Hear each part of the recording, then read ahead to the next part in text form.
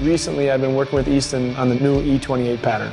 And we've been trying to set up a stick that puts the blade, the lie, the curve, everything in the right position so the kids shoot the puck correctly. And today we are working with the Junior Kings, letting them know how the pattern works. So the E28 is set up with a dual lie. The back part of the blade sits on the ice when you're catching passes. The front part of the blade sits on the ice when you're shooting. So the blade has a toe curve and it's flipped under quite a bit. So when we shoot the puck, we're going to tip our hands forward and it actually wraps the blade right around the puck.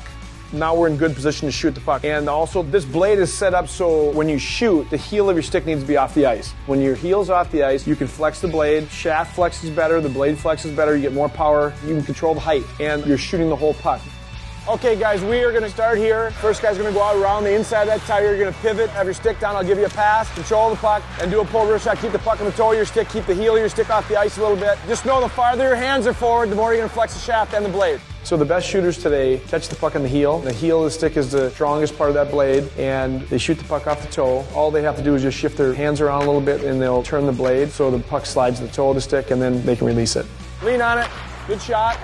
Make sure your heel stays off the ice. Good. Well, it's nice to work with kids that are skilled players, and it's nice to see kids that can just, when you tell them to lean on the toe, they can make that stick work. In the end, they start shooting the puck better.